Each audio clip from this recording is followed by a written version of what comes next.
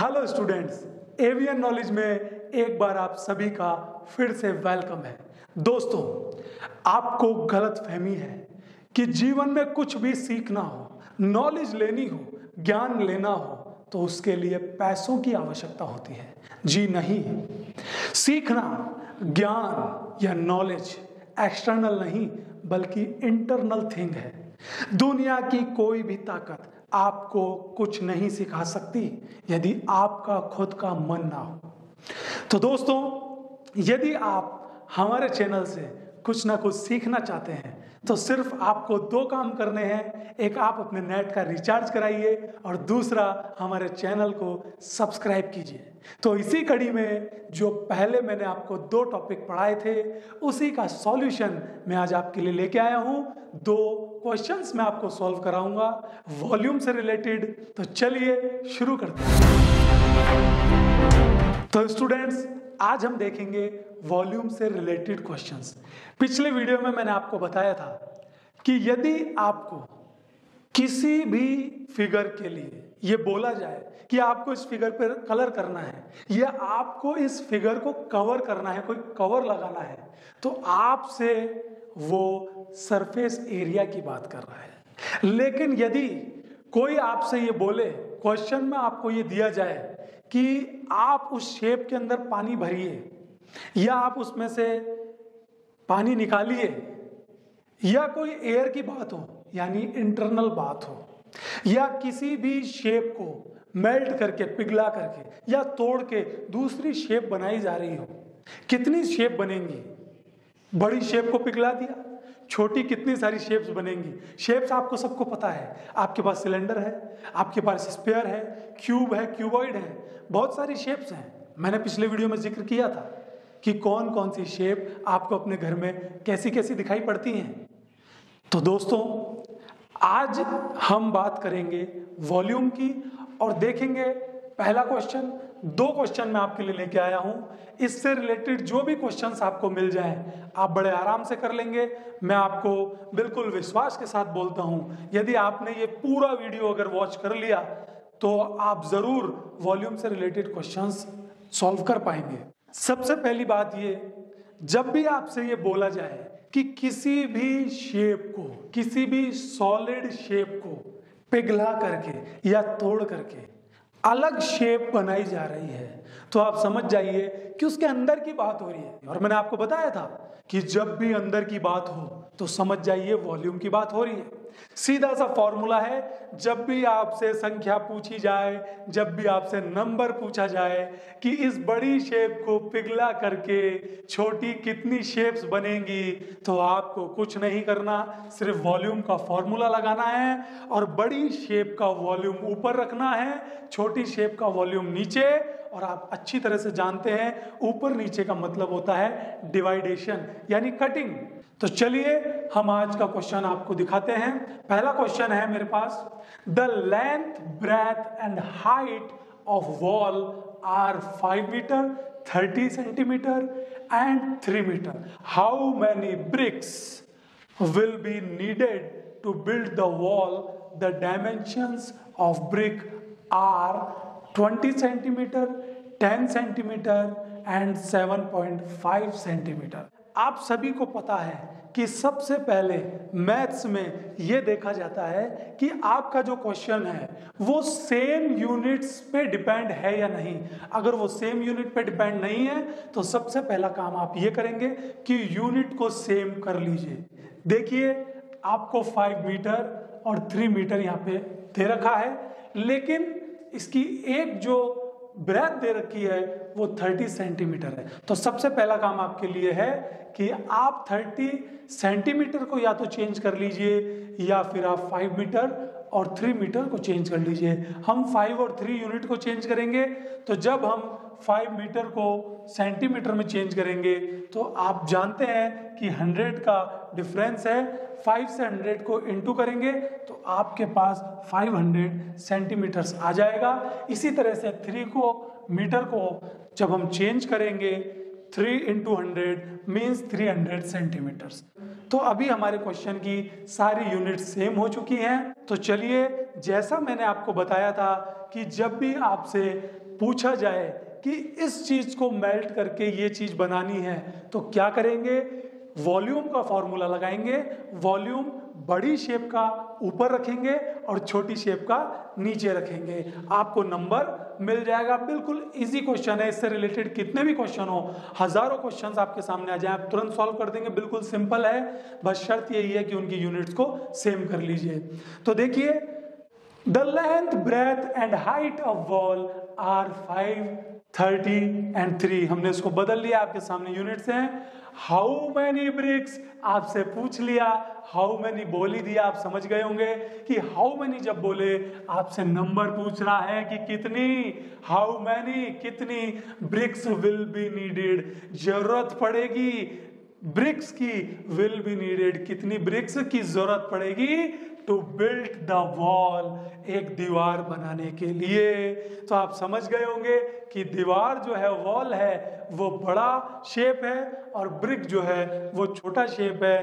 तो बड़ा जो शेप है, उसका आपको वॉल्यूम ऊपर रखना है और जो छोटा शेप है, उसका वॉल्यूम नीचे रखना है। सिंपल सा हमारे पास फॉर्मूला आ जाएगा। नंबर ऑफ़ ब्रिक्स आपसे पूछा है नीडेड देख लीजिए आप यहाँ पे। हाउ मैनी ब्रिक्स, संख्या पूछी है और मैंने आपको बोला है, जब भी आपसे संख्या पूछे, नंबर पूछे, कुछ नहीं करना एन इज़ इक्वल टू आप लगा दीजिए एन इज़ इक्वल टू बड़ी शेप का आप वॉल्यूम ऊपर रखिए, छोटी शेप का वॉल्यूम नीचे रखिए तो आप बताएँगे कि बड़ी शेप इसमें कौन सी है? आपको आराम से पता चल रहा है कि बड़ी जो शेप है वो वॉल है और छोटी शेप ब्रिक है। इतफाक से इस क्वेश्चन में दोनों ही शेप क्यूबॉइड है तो मैंने दोनों शेप्स के आगे सी सी लिख दिया है, जिससे आपको पता चल सके कि ये दोनों ही शेप क्यूबॉइड है।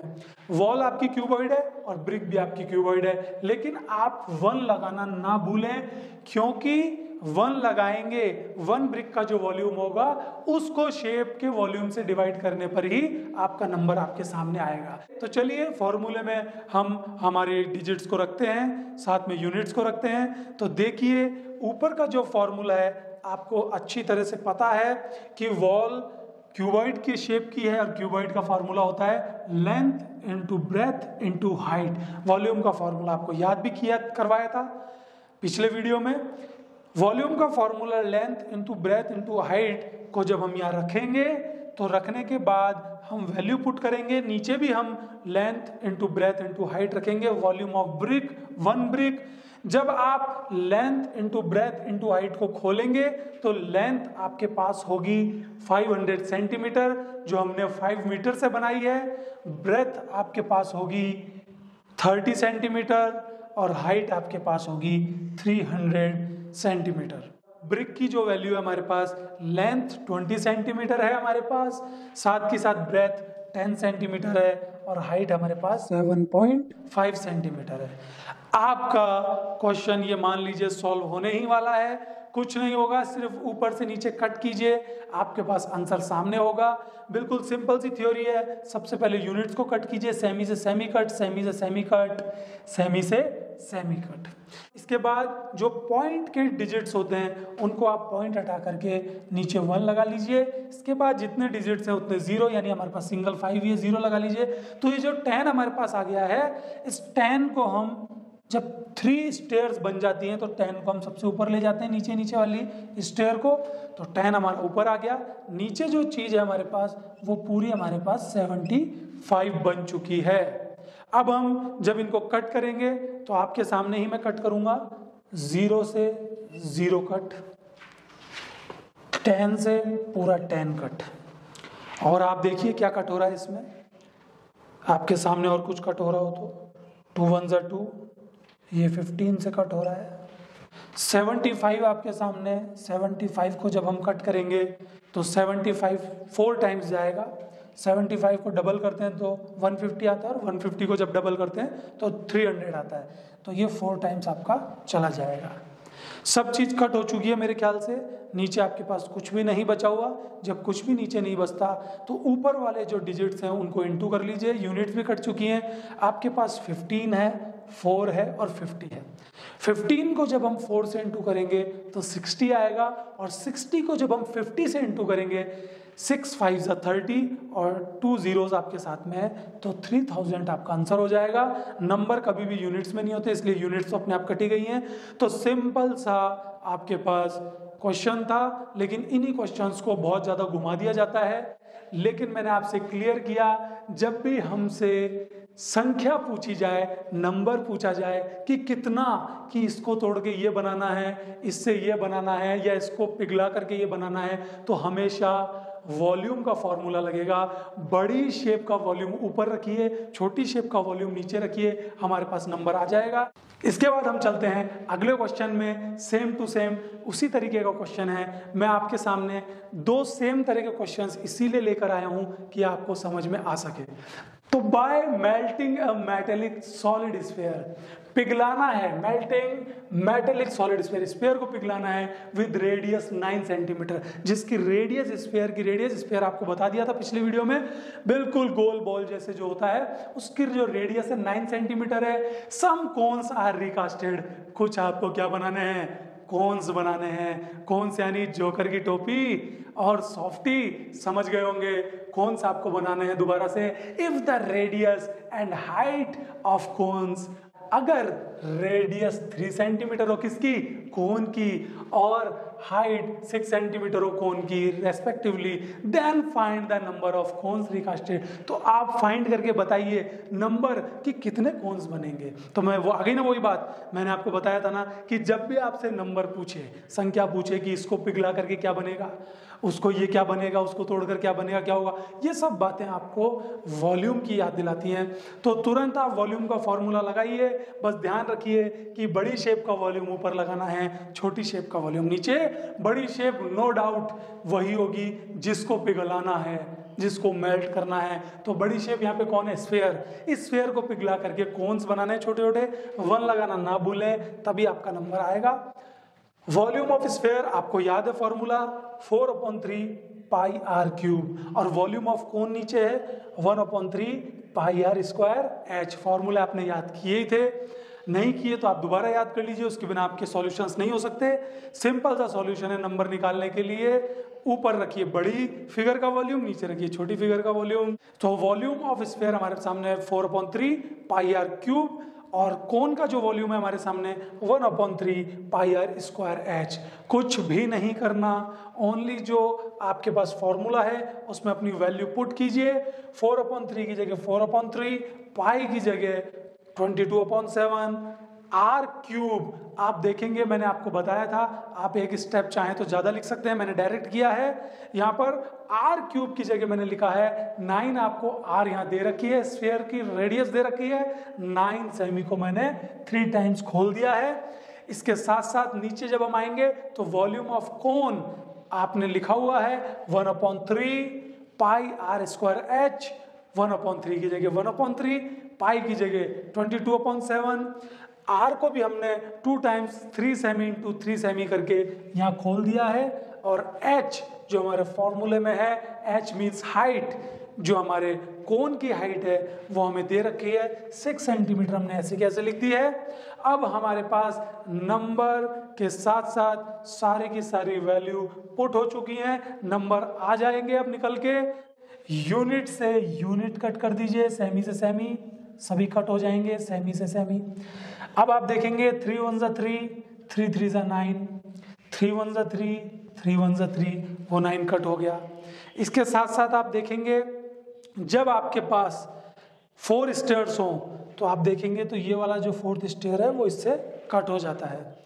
आपके पास में नाइन नाइन और फोर है सिक्स भी आप काट सकते हैं।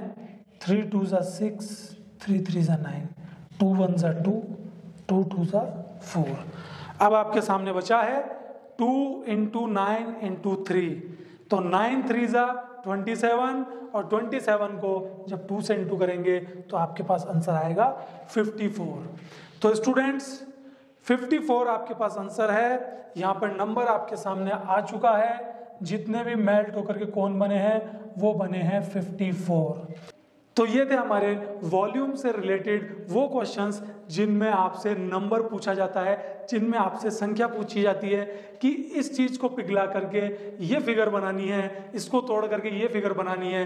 मैं उम्मीद करता हूँ स्टूडेंट्स कि आप सबको इस तरह के क्वेश्चन समझ में आए होंगे। अगर फिर भी आपको इस तरह के क्वेश्चन समझ में ना आए हों तो एक बार आप वीडियो को रिप्ले करके ज़रूर देखें। मैं आपके लिए इसी तरह के सॉल्यूशंस लाता रहूँगा। आप कमेंट बॉक्स में किसी भी तरह की शिकायत या किसी भी तरह की प्रॉब्लम आपके पास हो, किसी भी सब्जेक्ट से रिलेटेड तो कमेंट बॉक्स में ज़रूर लिखें। मैं मिलता हूँ फिर और एक अच्छे वीडियो के साथ। तब तक के लिए जय हिंद।